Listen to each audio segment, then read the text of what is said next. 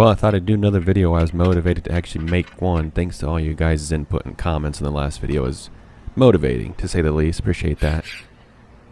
Kind of hard to keep track of where I've uploaded this content to, different social media platforms. trying to manage my business, my house, all that stuff, my personal life.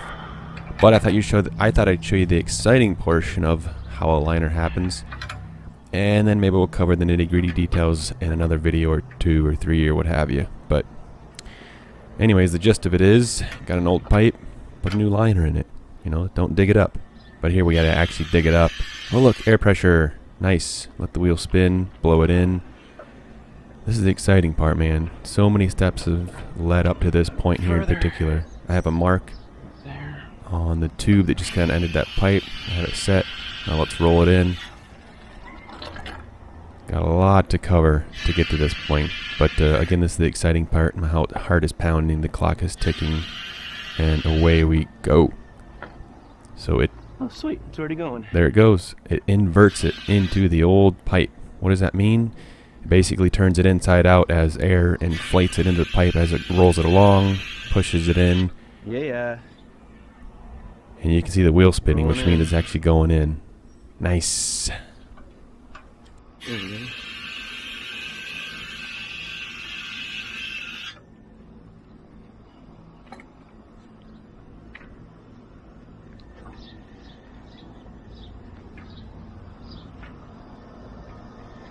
There.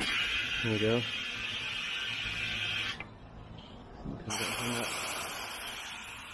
So here's another extra step that I don't do anymore. I've kind of figured out how to do it better.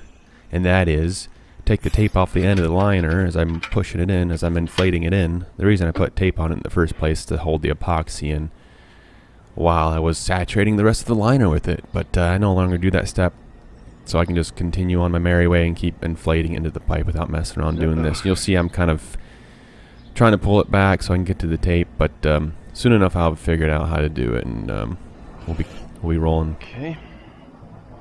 Must have got my hands saturated with this epoxy so I can grab one of these Hercules wipes to really clean it off so I can actually have some grip on my gloves because man this stuff is not really sticky when it's wet but it's so greasy.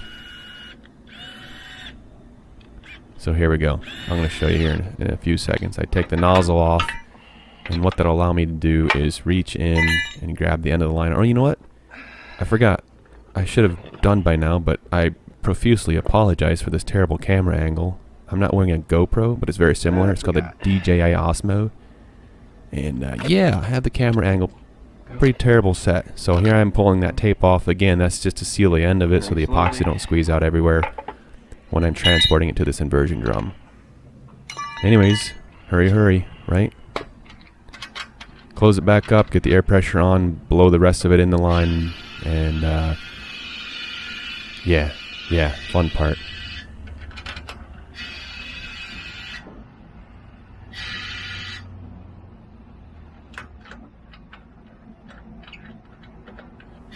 Now as I'm doing this, I'm watching the pressure gauge build, which means it's still inflating the liner into the old pipe.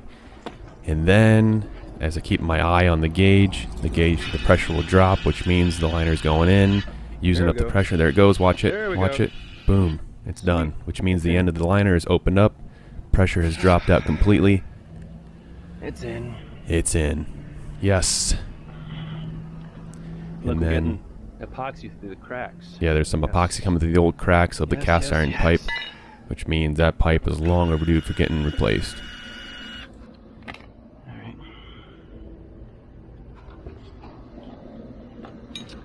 All right, then after this is to get it ready to cure and harden and set in place. I have already loaded up this uh, calibration tube, or cal tube as we call it, which will invert inside the liner and we'll get hot water pumping through it. That's another video in itself. And we'll cure over the course of, you know, like hour and a half or two. And then we'll have our new pipe inside the old. No, no, no, no. Oh, I lost it. I can laugh at myself now.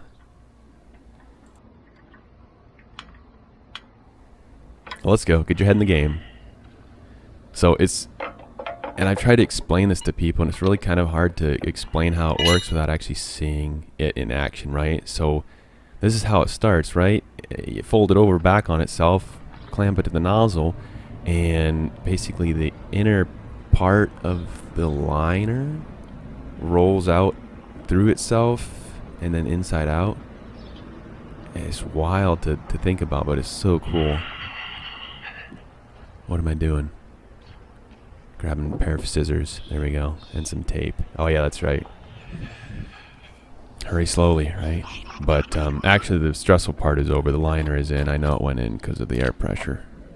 Um, but yeah, that's uh, the stressful part of it right now. The exciting part of it right now.